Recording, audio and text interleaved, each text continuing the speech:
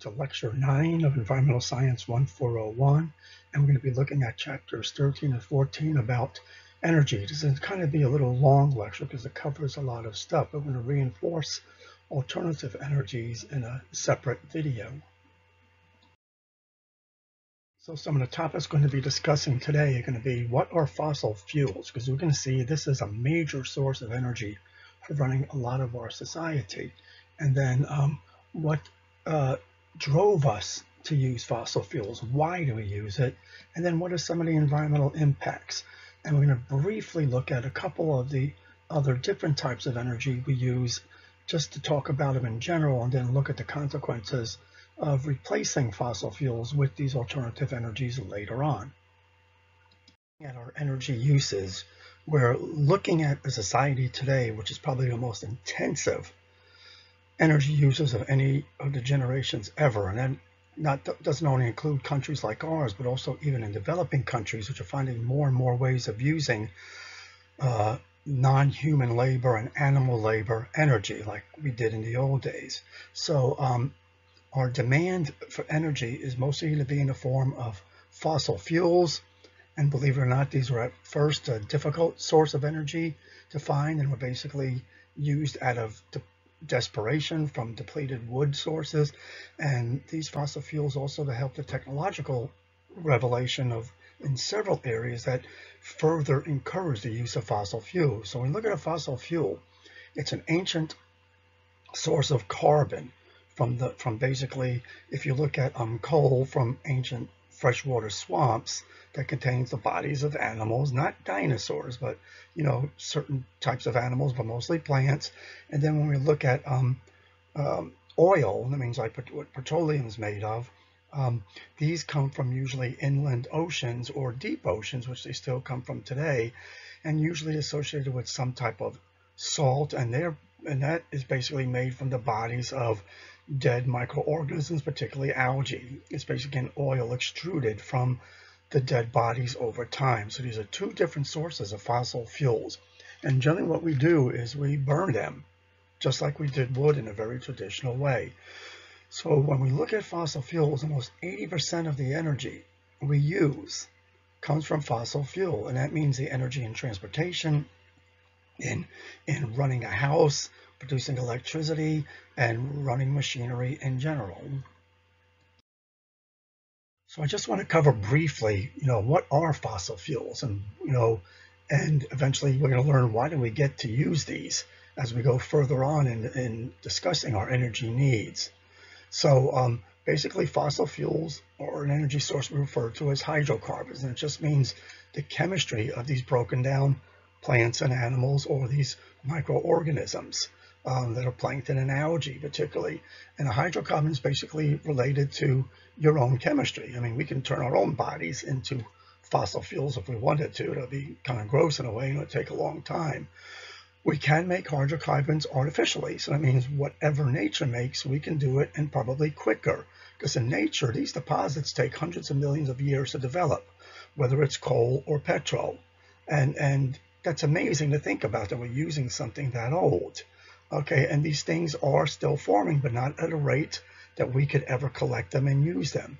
Now, to make them artificially, which we call synthetic chemistry, would be too expensive. And we're trying that with biofuels, but we can't get the diversity of products from biofuels right now that we get from these natural fossil fuels, which is why we're probably going to be using them for a long time. And again, you'll learn more about these a little later on in a later lecture. So again, over literally hundreds of millions of years, what we've seen is these reserves start out, you know, for, for at least, you know, coal in this picture here, basically is an ancient swamp that goes back to what's called around the Carboniferous era when there was lots of trees, lots of swamps. The earth was a wonderful tropical, humid, miserable place, sort of like Houston, um, except didn't get as cool as Houston. And life was abundant. And these um, these swamps basically died. They went under succession and got buried and eventually got sometimes covered with water or other things. And the bodies of the creatures decayed. And eventually that under pressure, those carbon compounds form coal, very much like the graphite in a pencil, which some of that is actually artificially made, but a lot of that is based on a very hard coal. So associated with the breakdown of um, these materials into coal and petro-2, we get natural gas, which is a, a, decomposition product that even forms in swamps currently. Uh, natural gas is related to a, a methane, which is a very big greenhouse gas, which is why when we dig these resources out of the ground sometimes, methane is released and we don't always make use of this methane. A lot of times we burn it off or just release it into the atmosphere, which is a very dangerous thing because it could literally um, encourage global climate change and is just a major pollutant in our upper atmosphere. I mentioned uh, earlier oil, we sometimes call crude, um, can start out under a current ocean or an ancient ocean that dries up, like is what's shown here, and oceans do. We had oceans that ran through the middle of the United States, and some parts of the East Coast were underwater at one time. I mean, Houston definitely was. You know, we can tell by um, land formations, ocean formations, coral growth, and even fossils. You can find oceanic fossils all the way up to Montana, out to West Texas. It's really interesting. But these old beds, a lot of them ended up trapping a lot of the algae and these microscopic plankton, which are present by the hundreds of tons, you know, in the water. And they just get crushed again, just like with coal, and become these oil and natural gas deposits. So we can look at oil, we can look at coal and see there's very similar processes but different times of the earth basically this was going on and also different chemical compositions based on the, what we call the parent material okay and that makes a big difference and understand that these were unknown resources to people the only thing people knew about coal was when they accidentally came across superficial coal that means coal that was close to the surface and this was very typical in china one of the first people that we believe, found and made use of coal.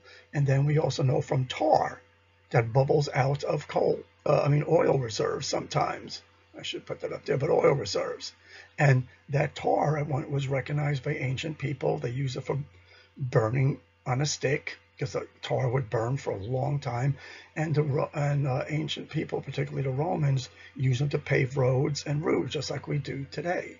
So these materials were known, but they were very difficult to get and we and they they didn't do what wood did for us at the time, particularly for the technology that we had. So there's two terms we have to be aware of. Is um, the term, the general term called a resource. It means something, anything that we can probably make use to as a use of as a society. So it just means something that's out there that may have some benefit for us. And there are resources right now that we don't take advantage of, particularly when it comes to agriculture and many, many plants out there that we could be eating that we don't, that are inexpensive to grow and provide very high protein content. But again, we just, you know, we just avoid them because we have no reason or desperation to use them at the time.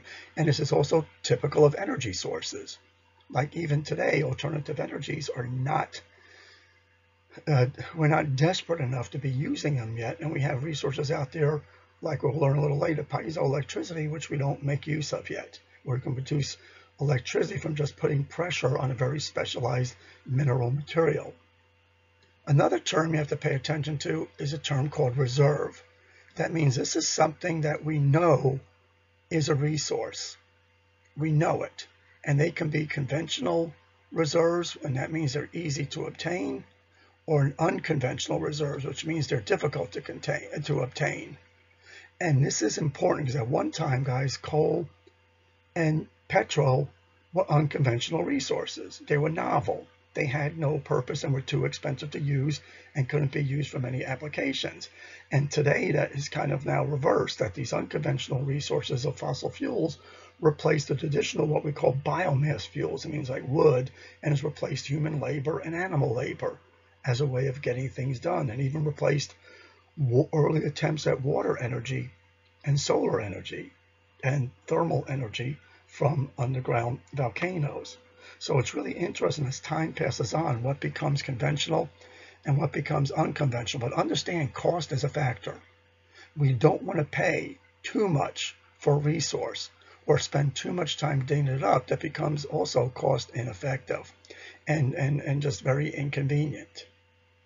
So I'd like you to go through this PowerPoint slide as part of your study, and this picture is also in your book.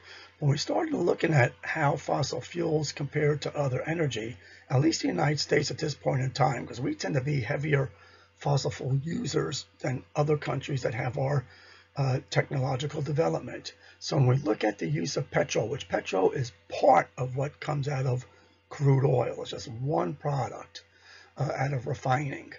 And again, later on, we'll go into this in a little more detail. So petrol still makes up a significant sector. And if you break down petrol, a lot of it is used for transportation, and particularly today where transportation has increased as we're spending more time shopping from home and as you learned in your food transportation assignment, growing food that is grown far away. Not that far away as some of you, you know, said in your assignment, but because we still try to grow as close as we can to reduce transportation costs. But when, when the price of fuel goes down, though, it becomes easy to transport longer distances as long as the food doesn't spoil. Okay, and that is always a difficulty, but industry uses a lot, but actually per capita, people probably use the most per person is in our standalone houses. And this is a, and, and also our individual cars when, it, when we start looking at transportation. Um, we can look at natural gas, which is a byproduct of fossil fuels and is also a good resource and usable reserve in itself. And again, we see a distribution of duties for that. It's used a little differently than petroleum. A lot of um, this is used in industry, it's used in, in households. And then we can look at the usability of coal, which is the smaller of the fossil fuels, but at one time used to reign supreme. And then we can look at what's called renewable energy. And this includes stuff that we can bring back. These are non-renewable. That means in a typical human society's lifespan, we cannot make these or replenish them as fast as we use them. And that's why it's important to slow down on their use. Or by 2100, you'll probably have none left. I won't have to worry about it, but I think that's important to pay attention to. Um, but with renewable, these are things that if we use them wisely, we can replace them or replenish them or regrow them pretty quickly. And that can include trees for burning wood or, you know, various other resources. Okay, we can look at solar, we can look at wind, all those resources that we don't really use up. We can impede with them and we compete with those resources for other things. Like if you're going to set up a solar farm, you're going to have to maybe chop down a forest if you had to, or you could replace farmland, and then you're losing that solar energy to go for other purposes. Now, the other big one we usually let stand alone is nuclear, because this is big. It's much bigger uh, in other countries than it is here, particularly Europe. If you ride the Euro around, you'll be taking a tour of everything nuclear power plants in every country. So understand that we have usages. And the problem is, is that we are stuck in this world where we built all of our modern technological society, most of us have, at least throughout the world, on fossil fuels, which cannot be replenished within our lifetime that we know right now or can't replenish at an economically feasible cost. So guys, you'll notice that there's a diagram here that's kind of set 200,000 years of human history onto a 24-hour clock. And just to give an idea of how recent, you know, fossil fuel use is, if you think about 200,000 years and 24 hours, uh, the equivalent time that we've been using fossil fuels is about 15 sections as a seconds as a fraction of the time of, of energy usage. And what's amazing about this, for this tiny little amount of time that we've used fossil fuels, we've come to the point of depleting them, you know, having to find substitutes for them. And also we've polluted our earth with them, particularly contributing to greenhouse gases, not only through the use of these fuels, but also through uh, the processing of them and, and getting them out of the ground.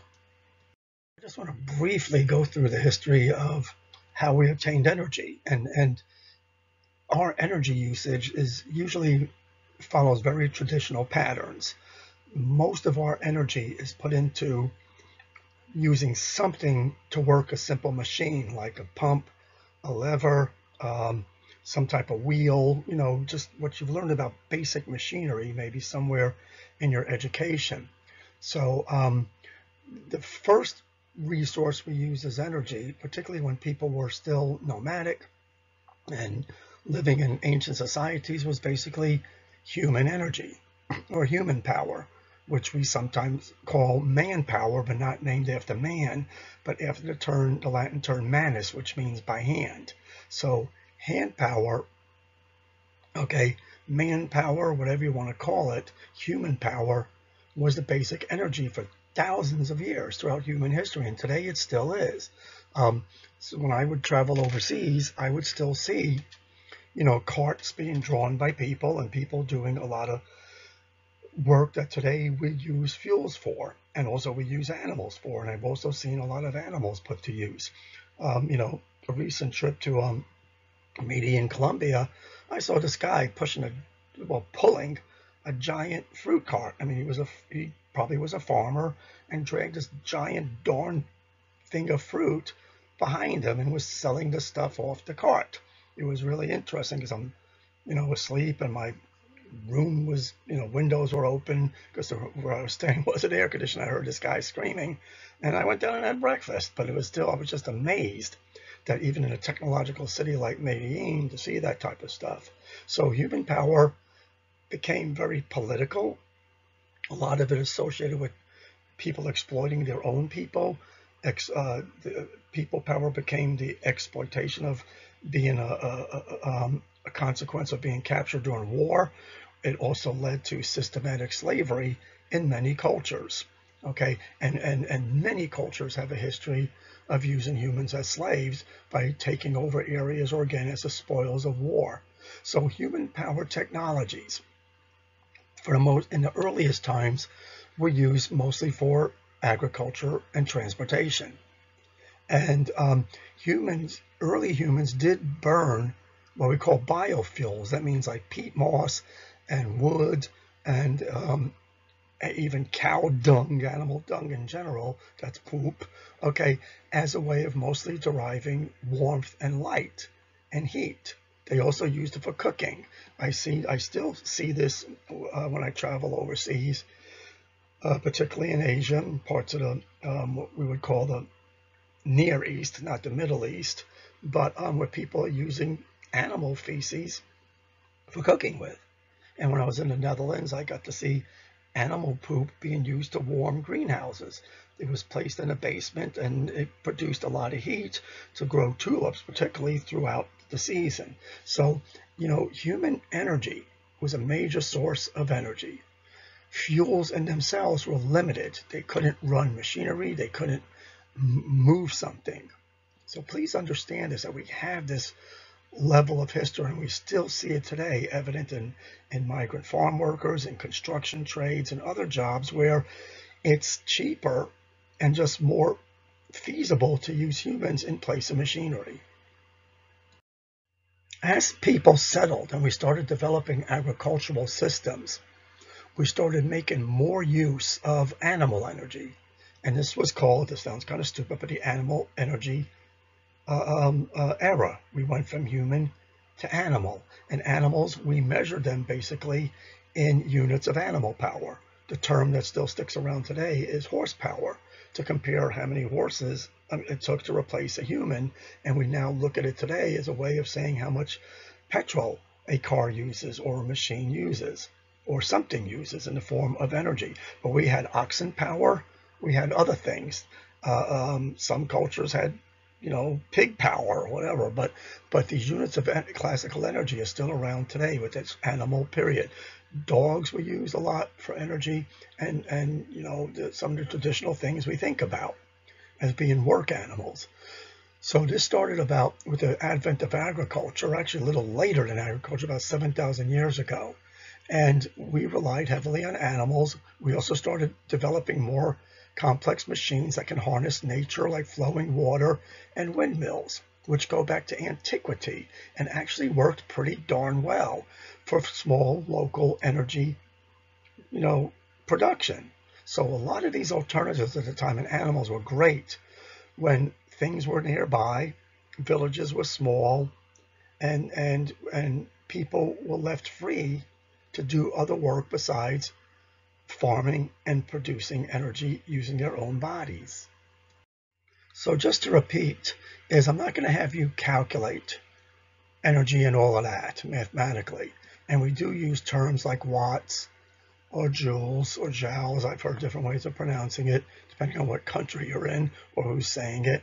But this whole idea of power is very important because it produces this stuff we call work, which is a unit of, you know, basically force moving over a period of time or doing some type of, you know, job.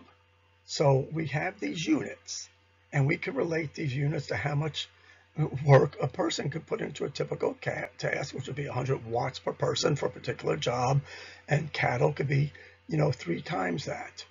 Again, so energy units were based on classical ideas of work. That means turning a wheel, producing movement, moving a lever, um, tugging, you know, tugging a carriage or a boat. Because in the early days, guys, bolts were sometimes pulled when they were inland, were pulled by animals to get them through narrow paths and rivers sometimes. So the idea of movement, again, is a very important principle when looking at how we use things. And we're going to learn later that what fossil fuels allowed us to do was provide lots of energy to provide movement of different types of machines that we were currently using that were run by animal and plant and and basically biofuel. That means tree you know burning trees and things that just died that type of power.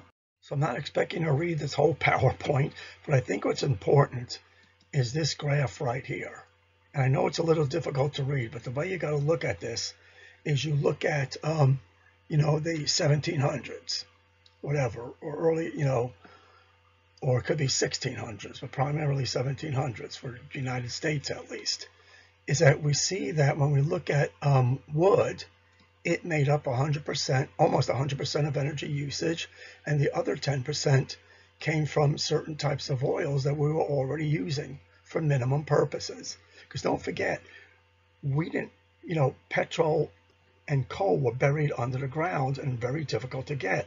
And wood powered machinery was able to at least help us to, to extract coal. Human power did not. I mean, in some countries, like, you know, Middle Eastern countries and in China, in areas where they had large labor pools, people mined. Some of the largest mines were done in China, literally using hundreds of thousands of people, working themselves to death, basically, to do this, and and a lot of cultures used slave or slave or criminal labor to do that, or people that were captured during wars. So wood, by becoming very prominent right around this time in the Industrial Revolution, allowed us to run heavier machines than animals and humans can do. Because what we did was we burned the stuff and and use it to make steam or to heat that can move machinery. Once we figured that out, we developed this thing called a turbine which is very much like a windmill or a fan. And you can spin a fan with enough energy at a very high speed to do a lot of work. So it's basically a wheel that we can put to work. And that's what allowed us to even develop electricity was understanding that a spinning object going through wire, you know, hooked up to wires in the right conditions can produce electrical current. Okay. So this was the wood era all the way to about here. And then when we start looking about, you know, the later 1800s, we use wood burning machinery to dig up coal. And coal became more feasible, required less people, more machinery, less animals. When I was in um, uh, Mexico in San Luis Potosi and visiting some of the silver mines just because I was there to do work, but I was given some time to take off and go around uh, um, different places. Um, and it was amazing to see how even the, the, silver mines were designed back in those days, 1600s, for human and animal power. Some of the buildings even had staircases that donkeys and carts can roll up to get upstairs to, to you know, work with the materials, the silver and the other materials, the coal, whatever they were digging up. And then in the newer mines, it was definitely machinery driven. So right around the later 1800s, we started finally getting a hold of coal because it could burn better than wood. And wood was actually on the decline to the point where we were running out of it. And that was all part of the establishment of the national park system too and other things. And, and a lot of people that were using wood were going through this throughout the world, and some countries are still today. They're using up every piece of wood they can because they don't have access to coal. It's either not in their country and or they just can't afford to bring it in. Coal eventually gave us the energy to go for petrol. And petrol over time started becoming the dominant energy. It was definitely, look what happened to wood. It's a tiny little sliver. Okay. Some of the other natural oils are tiny little sliver. Coal decreased. Now petrol exceeds coal. And eventually natural gas over here starts taking in but maintains stable over time. And these are all your alternatives. But notice that today, petrol is still a significant source of energy and coal. Today, petrol is mostly the most versatile one. Coal is usually reserved for electricity production because it's still cost effective, whereas petrol is not good for doing that, even with natural gas. So think about this. We went through this evolution over a period of time where we really, really were able to build these large congested cities and have transportation that can go across the world by exploiting coal and other fossil fuels. And this is where we stand today. And guys, and don't look at other countries and say, wow, that country does not use these things. They are in the Stone Age, basically, and there's a reason.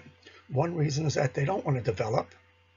The other reason is that it's too expensive for them to get these resources, or if they have them, they have to sell them to stay alive and they can't use them themselves. So countries that didn't have access to coal or petrol literally were condemned to not having a lot of machinery. And in some cases, that's probably better, but it didn't allow them to build the huge cities unless colonialists came in. Other countries came in, like, like Europe and America actually did in Africa, South America, literally all over the world, all over parts of Asia. And we brought in the resources to do that. Of course, when the, the countries get angry at us and they and we leave or we're forced to leave, those resources don't pour in, in anymore, and those poor countries can't maintain that infrastructure. And it either crumbles apart or they have to pay a lot of money to keep it. And guys, I do have to say that why have we gotten ourselves into this fossil fuel rut? And a lot of it is economic influence and your part is supply and demand. This is consumer driven. We know this from automobiles, is that at one time when gas was expensive or hard to get, not all cars burn gas, and cars were not popular. When gas goes down, cars become popular. When gas is really cheap, we tend to not care about the gas mileage of a car. When I had to live through the 70s oil crisis, what's called the OPEC crisis, we had oil shortages where I couldn't afford and couldn't even get gas for my car. I mean, I didn't use my car much in New York City, but we needed it for family business. We weren't taking joyrides in it. And we would sometimes have to haul stuff on a city bus to get it to our store, you know, because we couldn't run the van or the station wagon. So it was, really bad times. And people started opting for cars that got more fuel efficiency. And now that petrol is cheap again, we don't worry too much about fuel efficiency except related to air pollution, but not so much the cost of petrol. You go to other countries and you see energy efficient cars that are tiny and not as powerful as ours because gas to them is sometimes five times more because they're not involved in the production of it or the or the refining of it and it's very difficult for them to get and it's very expensive in general for them to have so they deal with without it. They learn to deal without it. So guys, like I said, a lot of Europe, America, and parts of Russia, parts of Asia, particularly, you know, particularly China, we lucked out. We had access to resources and most importantly to reserves usable reserves, conventional reserves that were just right under us. They were available. And we had the people power to do it, to get these out of the ground. And eventually, when we started obtaining coal, if you were able to, you could use coal to build, to make steel, to do all sorts of things, incredible things. I mean, you can't build steel structures without coal. You can't make hard things out of hard metals. You can't bake bricks to incredible temperatures and and and and make uh, what are called alloys. A lot of alloys we use today. That means metal mixtures and carbonated metals. So this is incredible what we can do. We can build this incredible infrastructure that also makes us more resource dependent for things out of the ground. And coal also allowed us to extract petrol. So this is what's beautiful about looking at the economic forces. And once, once you start building up a civilization, that justifies the costs of getting and putting money into more efficient fuels. And, and guys, just one thing I'd like you to do, it's a very interesting story and a very interesting principle is what's called Jevons uh, um, paradox or Jevons paradox, however you want to pronounce it. Again, it varies from country to country. Okay, based on the native speaking of his name. So he recognized, guys, that as um, you know, when we start consuming energy, okay, and energy becomes more available and cheaper, and things become more energy efficient, that doesn't decrease our use of energy. So when things become more energy efficient, it's funny, we tend to use more. Now that sounds kind of stupid because you think if we made an energy efficient car that got less gas mileage, that would decrease our need for gas. But we found out with consumer markets, it actually increases its usage and the use goes up which really screws up the supply and demand market because then it jacks around the prices of supply and demand up and down. And what happens is we use it up, it becomes scarce, the price goes down, then we use it again. So this is really kind of funny. So, and guys, this is not a cost thing for Jevons paradox. It's the fact that um, when we have things that are more energy efficient, we're not saving money. We're not taking advantage of that benefit we tend to use it more. And that's weird, but it's typical of our type of society, particularly amongst upper class people. This principle works the best. And guys, in governments going back to millennia, and particularly the technological governments that were forming during this end of the Middle Ages, we recognized that we had to somehow put limits on energy usage and a lot of resources. And this involved anything from regulations to reduce, believe it or not, early pollution, would you believe that, to making sure it doesn't get used up, conserving them, to distributing them to important sources like military or industry gets energy first before houses. So this has always been an issue with resource is government regulation to control these, and particularly with fossil fuels. This becomes a global problem because most a lot of fossil fuels are not used in the countries that produce it. And sometimes we are subject to paying or waiting for that supply from other countries, and we have very little control over that and have to set regulations that predict political things going on, particularly outside of our country. Another thing that a lot of governments do is we deal with these issues called subsidies. That means when there's a public good that we see as a need or a want that we find very important and very acceptable is is we look at these things as public goods, which means a government will sometimes subsidize a, country, a company to sell the product or resource for at value, and then the company gets the profit through the government giving them subsidies or giving them tax breaks. And this is unfortunately true for petrol. We give incentives or subsidies to keep the price of petrol down. Now think about Jevons principle, is that that doesn't making it cheaper and things more efficient does not decrease its use or stabilize its use. It makes its use go up, which this then becomes a problem. And then we have to penalize people or tell the companies we're not giving you subsidies and they jack up the price. So this is a constant fluctuation of political systems, consumerism that look at the ups and downs of fossil fuel costs and, and fossil fuel availability and production and what, you know, every aspect about it.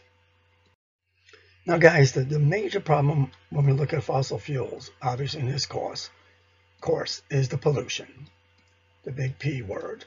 So when we, you know, yes, there is a convenience to it and blah, blah, blah, blah, blah. And we're not going to get rid of fossil fuels just because of pollution, but we have to look at ways of controlling the pollution, reducing it. And, and we know that fossil fuel pollution can harm people, but also if the politicians or policymakers accept global climate change, this is a big factor in global climate change too. And so we're always talking about clean resources like clean petrol, which is very difficult, you know, to make, particularly like diesel. We have this concept called clean coal. So what does it mean to be clean? A lot of it means that it could burn more efficiently, which means it produces less carbon dioxide emissions or sometimes other types of pollutants, particularly with coal. We can remove things like sulfur. We'll learn about that when we talk about pollution. We can learn, remove nitrogen compounds from it. So there are impurities in coal and petrol that make it dirtier than it has to be. And we can remove that, but the thing it comes at a cost. And guys, we can even dig up clean resources, but those are very scarce. But when we do dig up dirty ones, it should be our responsibility to clean them up to make them burn less dirty. So there is going to be no way of doing perfectly clean fossil fuels because you're going to be producing atmospheric pollutants no matter what, and a lot of heat and side contaminants. So guys, what you see here, and I can't tell the color if it's red or orange, but what you see here are areas that has a lot of coal production and usage too, actually. So when we look at the reserves of coal, notice Africa, none, South America, very little, a lot of Middle East. This is coal, not oil. This is funny because in order to get access to petrol, you need coal. And notice some of the big petrol producing areas, they had no access to it until other countries came in with the technology to do it and gave these places an economic boom, but also it was horrible because these countries ended up being taken over for that resource. But look at where the coal is. Now the problem is where you see the coal, these countries have historical use of coal, which means a lot of pollutant for about pollution for about 300 years. Okay, you see a lot of land destruction from mining the coal because it is a dirty business but you also see an economy that's based on coal. But notice the unequal distribution. And I think this is very important to understand when we look at the economic development of countries and why we, you know, became wealthier nations and were able to do economic development. And it also includes India and China, believe it or not. They just took a little while because of philosophical reasons more than anything else. They didn't have the big developmental approach that we did in Americas and in Europe and parts of Northern Asia. So guys, please go through your book, particularly when you look at coal, because it is an important one for our area, and we don't dig it up as much as use it a lot. Excuse me, for electrical production. So coal is stripped out of the ground or dug out of the ground, and it is an environmental hazard. And once a coal mine is used up, you have to spend years remediating it, eh, remediating it or supporting the lands where the digging was done to keep it from collapsing. And when I was in, doing graduate work in Colorado, I got to see some mountaintop removal mining that my classes, because we were actually ecology classes, we protested. It was kind of fun being part of a protest. And whatever, we were protesting the mining companies for doing this type of destructive work that produced not only a loss of soil, but air pollution and a lot of water pollution, which I was helping to study. This is showing a sinkhole or what we call subsidence. And sometimes underneath mines, the ground will break through. And I've actually seen this in Illinois. This had, it split a person's house in half, and where I was um, teaching at a university, the town was just literally sinking like this in bits and pieces because most of the town was on, was on top of coal mines. That's what made these areas. So understand there's a lot of structural damage besides the pollution that can uh, go along with when we do mining. Now guys, look at the petrol distribution. Okay, some countries are lucky, like us, you know, Russia, Soviet Union, in, and uh, is that they have both coal and oil. But now look at some of the countries that have oil but no coal, which meant they can't get this out of the ground. And this is, you know, again, was a problem historically. So we could actually provide ourselves with all the resources we need, except that we're using them up faster than we can produce them within our own borders. So we buy from other people that we assumed at one time weren't using them. So we are stuck in a rut where, you know, we have to transport these resources in many cases. And some places are sitting on more resource than they need. But eventually that might change as their populations grow or their development grows and they start getting as urbanized as we do. So this is an incredible unequal distribution that, that requires global, and I'm not going to say cooperation, but tolerance to get a hold of these reserves and resources. And, and for today, at least, when we look at the Middle East, they were at one time had no need at all for the petrol within them, and they didn't beneath them, and they didn't really have the ability to get it out because they didn't have coal machinery to do it or the manpower to do it. So look at this, 55% of the material still comes from the Middle East. That a lot of times when you look at oil producing nations, they call the shots on a lot of this. Them and parts of Africa and also parts of South America. So, so guys, the biggest problem we have with oil, and even with a shallow mine, is the stuff is in the ground. It's sealed in rock that you have to drill through. And sometimes that rock is very deep or the stuff is off in the ocean. So you find these big puddles of petrol encased in, you know, basically rock or salt or something. And that could be buried, you know, um, deep underground where you have to drill it out. And this stuff is under pressure.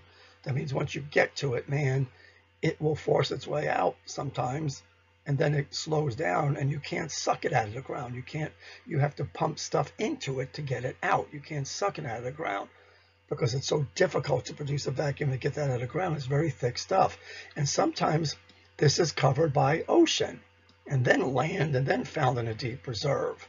And this is why we haven't found probably all the oil yet in the oceans because it's buried so deep. And the oceans are so huge, we haven't found all these deposits yet. And a late friend of mine who served on an environmental committee with me, he was actually petroleum explorer in the Gulf. Now, he was also into preserving the Gulf, but he also did it in a way that still allowed us to get oil.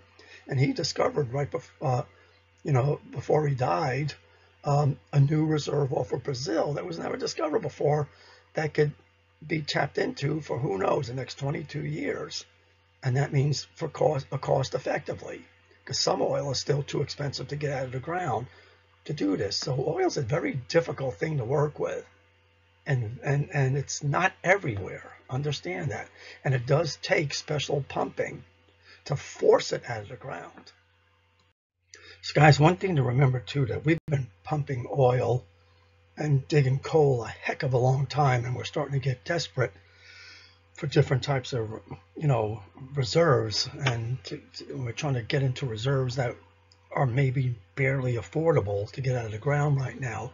And this is where we come upon something I'm sure you've heard in the news, what's called fracking or what's called hydraulic fracturing. I don't know where they got the fracking from, but whatever. And um, this is a way that we literally find petrol that's stuck in the rock and basically they and you and literally you can't push it out of the ground anymore with conventional methods so they use basically these jet engines to put high speed high pressure steam into the rock and it cracks the rock open and releases the oil so that it can come up And the other thing we can do is um, use these deposits called tar sands, because tar is a form of oil that leaks out of the ground. And we could also steam this out of the ground too. Now the problem is these these processes are destructive to the environment and, and it's created a whole bunch of problems that um, may be directly or indirectly associated with it, including water contamination and possible human-induced earthquakes. So this is to keep reserves available for us. This is consumer-driven, people. I want you to understand. Companies are trying to find us anything possible at a reasonable cost and to make sure that we have some stored away that's available so that it's affordable later on when when oil does get low again, particularly those that are uh, products that are imported. The problem with um, when you get oil out of the ground too, and it's kind of neat because when I fly a lot, I fly a lot. I used to fly a lot until COVID, but um, it would really be neat flying over parts of Texas, the Midwest, and other places and seeing these from the airplane, going, what the heck is that? And those are basically oil extraction fields. And these would go to pipelines that can travel up to, you know, several thousand miles. And unfortunately, that has to be done because the oil that comes out of the ground, it's it's just too much to deliver by truck and whatever. It's very difficult to work with, so it's best to be piped. And a lot of the chemicals are piped, either underground or above ground, depending on the geology or the, the area. And this slide takes us back to fracking because these are the reserves that are, you know, we're digging into that probably will have to be piped and channeled somewhere. Uh, and also the tar sands because they're in, you know, pretty remote areas a lot of the time. And um, again, this is, you can see the unit here and read about it, is that this is a totally different process that literally cracks the rock and think about that if you're living above that or near it, or there are, or if there are uh, aquifers or waterways that are near there. I mean, it is a destructive process, but again, a lot of this is consumer driven by supply and demand and for the desire to have inexpensive fossil fuels. And this picture always amazes me, and I love getting a hold of these maps when I can. This is showing pipeline maps just across the United States. And you see this in other countries too. And you see some of these pipelines literally going under, you know, under bodies of water to get from place to place and sometimes along highways, you know, and stuff like that. And, you know, I have a property where we have a pipeline that runs literally right on our property, right as part of our property. And we can't, you know, we have to be careful around it and also make sure we don't do anything around that pipe that can disrupt it or block it from being worked on. So this is amazing how we pipe things through. And there are people whose sole job is to distribute these to different areas and, and control the flow based on supply and demand and get this oil where it needs to be for either processing or just to transport for storage. Now, of course, another downside of uh, fossil fuels is basically accidents, disasters we hear about oil spills, and guys, millions of gallons of crude are lost on just the oceans every year in different locations. These, I mean, there are what are called natural oil, you know, oil field leaks, which occur underwater and on ground just due to geology of these things, as they're old structures that are subject to cracking and, and, and failure. But man, we have increased the load and and and guys and the and the transport of this is it can cause problems too. Uh, even with coal guys coal burning plants tend to have a lot of explosions. They've killed many more people than nuclear reactor failures. So when we look at the whole business of fossil fuel it is a dirty business. And and converting the fuel into other resources is a very dirty polluting business and accidents do occur. So guys our, our continual reliance on coal,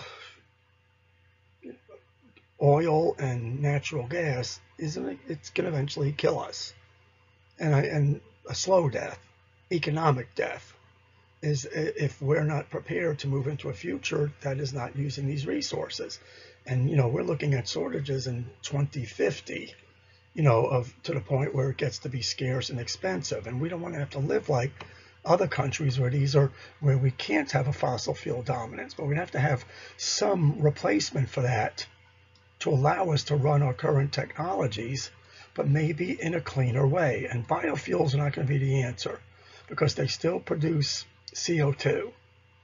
Even though it's a cleaner pollutant, it's still burning something.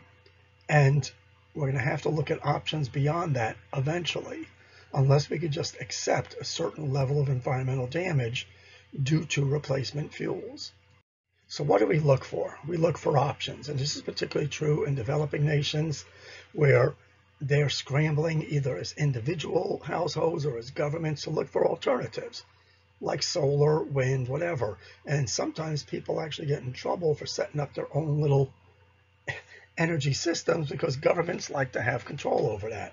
And I've been in places where the government ran, you know, diesel generators to fuel a place, and it would break down all the time because the government wasn't taking care of it and the people weren't allowed to. So um, there's a big politics because energy makes money.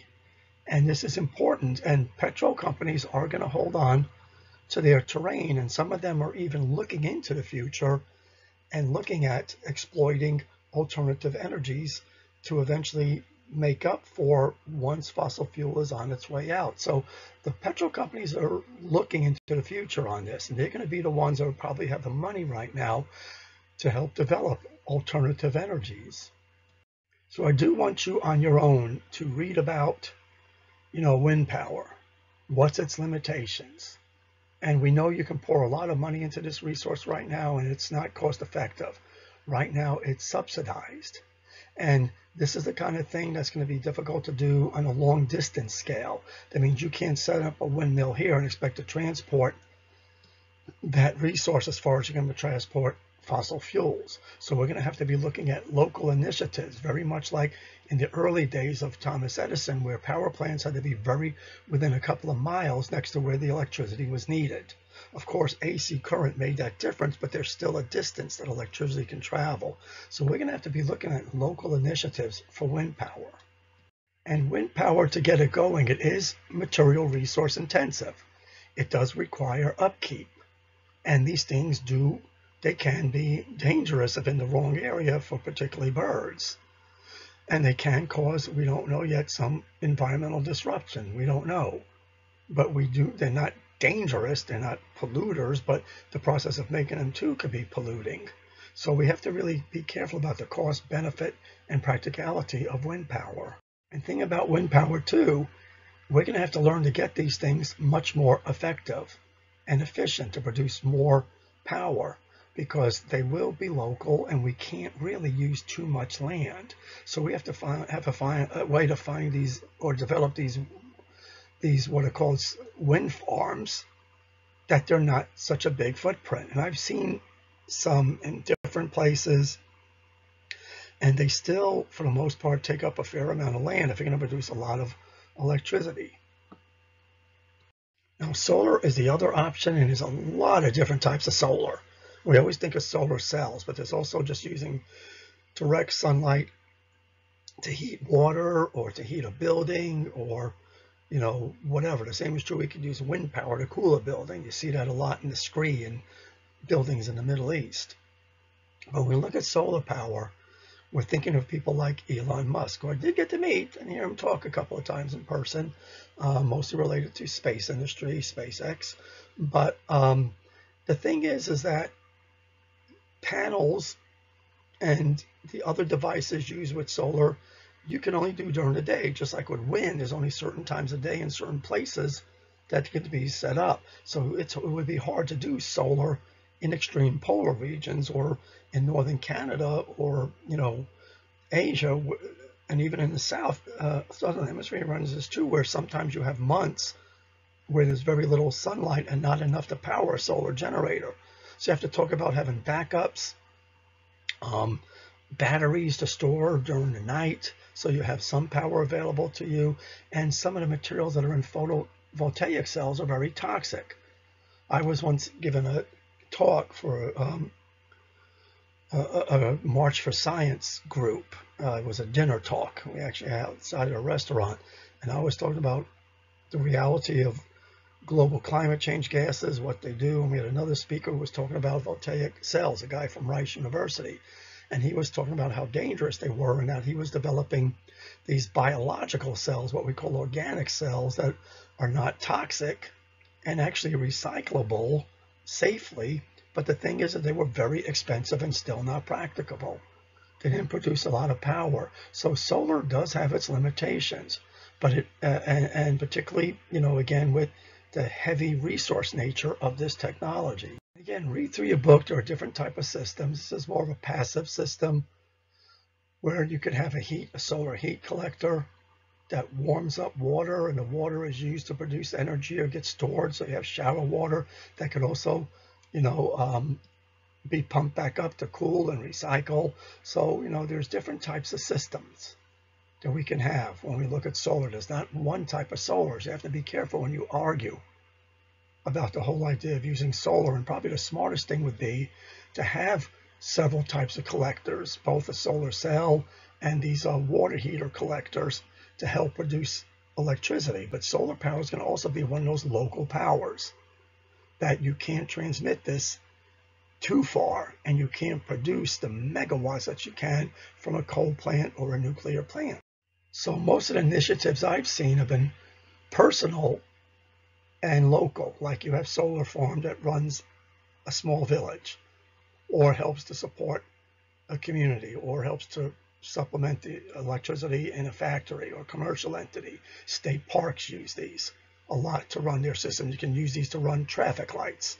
And all these little bits and pieces save, but the thing is they take up space and these have a lifespan that they have to eventually be recycled or thrown out. And unfortunately, recycling of these is very deadly and unfortunately gets shipped overseas that have lax environmental regulations where the pollution from recycling these is not regulated and it's nobody cares. It's very expensive to recycle them here. So this would be mostly local initiative, but believe me, all of this can wean us off a lot of the use of petrol and coal.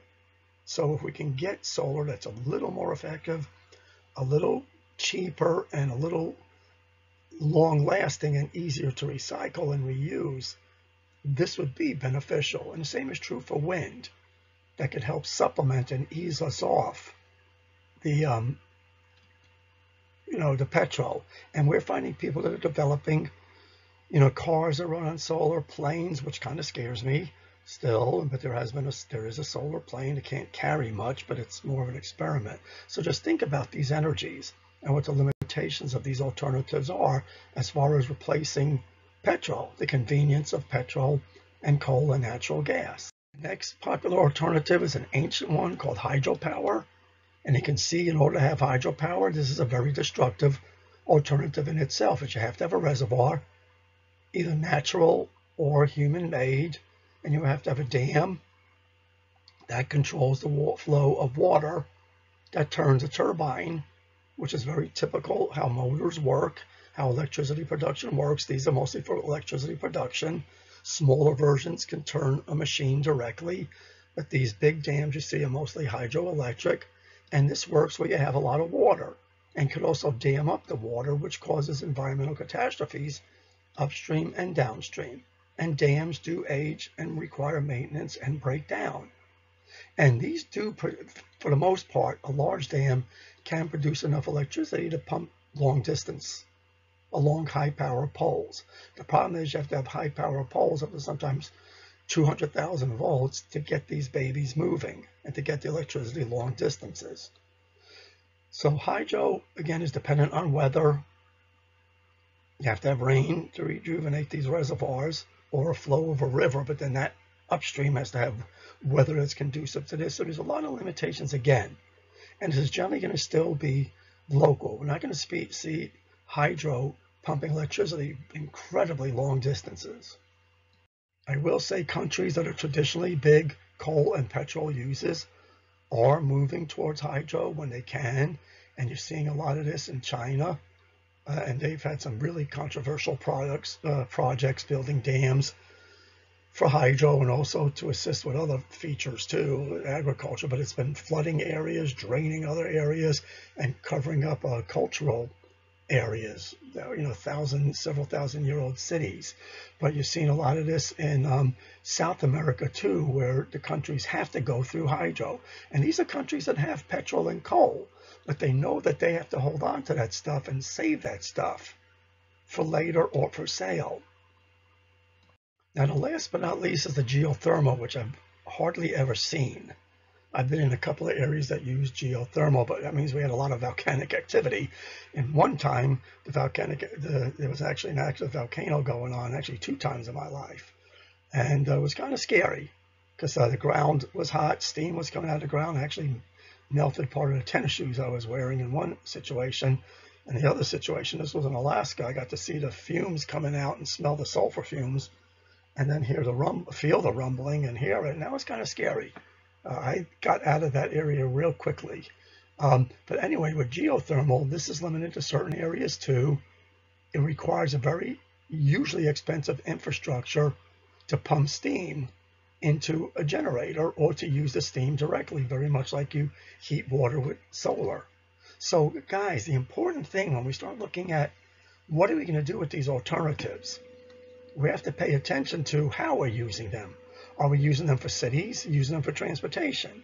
Are we using it to produce heat or steam? I mean, are we making electricity with it? Are we running motors with it? This is all going to make the decision on how you use this and the cost effectiveness of these. Besides, is this available to me anyway in a sustainable way? Now you're going to get a very brief on nuke. And then I want you to spend, we're going to spend some time in an activity looking at the, the biggest consequence of nukes, which is basically what do we do with the wasted material? And you see a short video on how a nuclear power plant operates. And please, you know, that's testable material. So when we look at nuclear, the only thing about nuclear that's different than petrol is that we're using a resource that is very dangerous, it's radioactive, and when we put radioactive materials under certain conditions and confine them, we can produce a lot of heat, like the atomic bomb, and a lot of work. So basically what we do is we take a plant that could normally use petrol or coal and put in a heat producing unit that does the same thing as petrol or coal because they produce heat. Now, for a car engine, this might be a little different, okay, because it's going to take a little, but there have been nuclear cars. I think someone made a nuclear plane once as an experiment. We know nuclear subs work real well. But the thing is, what we're trying to do is either produce electricity or turn an engine of some type. For the most part, nuclear is used for electrical because this is cost effective and it's the safest way to use it. But understand that these are very, compared to coal plants, they're pretty safe and they're also basically don't cost too much more. And when we look at the lifetime of the fuel, we're going to see that this is pretty efficient. So nuclear has its big downsides. It has a big fear factor, but it's also what almost every government see, is seeing as a future to ease up on petrol and other fossil fuels. So guys, so, so when you look at nuclear power, I want you to think about, guys, one, one little fuel pellet, and you're going to see this in a video, of nuclear energy is equivalent to like a lot of oil, a lot of coal, and a hell of a lot of natural gas. So it is an efficient resource. And it produces a lot of energy per unit size. And that's true for the same, uh, the size of the power plant too. We could have much less power plants to be able to do this compared to like coal or natural gas plants. Plus, guys, the fuel in a nuclear reactor could last 20 to 40 years before it has to be replaced. Now, the replacement's a big pain in the butt. And there's a lot of pollution and danger along the way to making and operating nuclear power plants because you have to dig uranium ore to the ground, which is a natural rock. Guys, we have a lot here in Texas, right around College Station area, all the way up to uh, central Texas. There's a lot of this stuff. Uh, Arizona, New Mexico, Nevada has tons of uranium in the soil that we we used to collect during the, the Cold War and then after World War II for bombs. But guys, this is stuff that's dug up. As a matter of fact, this is where helium comes from too, for the most part. It's collected from uranium processing. Isn't that nice? But the helium itself is not radioactive. It's, I mean, it's pure helium. It's not, and it's a non-radioactive form. But usually we go for something called uranium. And there's several types of uranium or even plutonium that we could use. And this stuff has to be purified, what we call enriched. And that means concentrated. Okay. Uh, it does produce what's called a depleted waste. This stuff is actually called yellow cake. It's then converted to a gas, shipped, and then reconverted for reprocessing, okay, to be used as a, a, uh, uh, what's called the fuel rod that goes into a nuclear power plant. And then when the rods are used up, they could actually be recycled and reused. So a lot of this stuff doesn't have to be disposed of. And we're finding more efficient systems. There's not one type of nuclear power plant, there's many, but we're finding more efficient systems that uses less fuel and has a longer lifespan to the fuel. We just have to work out the cost effectiveness of it and of course safety protocols that go with these. But the problem is when we do dispose of it finally, which is little amounts over a period of time, it is radioactive for about 100,000 years. And that's not good. That's dangerous. And we have to put it in facilities that can store it that way, which right now we don't really have a fully active one, except you're going to learn about Yucca Mountain in another activity, which is going to be used. I mean, it's been approved for use, and there are others in other continents, other sites that were, are based on Yucca Mountain that would be storing other, you know, nuclear power waste. Because right now it's stored on site, and that's dangerous. It's stored at the plants or it's stored in repositories that are in near major cities. Because we can't we can't just throw it in the ground. It has to be stored under particular conditions. You're going to learn about the Yucca site in Nevada, not too far from um, Las Vegas. And this was just recently completed. You're going to see the history of it because I think that's important to know. And we have to have a place to put this stuff. Right now, small amounts of radioactive material have to be stored in drums. And some countries actually took these drums and dumped them into oceans. They buried them uh, inappropriately. And so we have to have some place to put them, particularly the larger amounts that will be coming from nuclear power plants that will be having to recycle their cores pretty soon.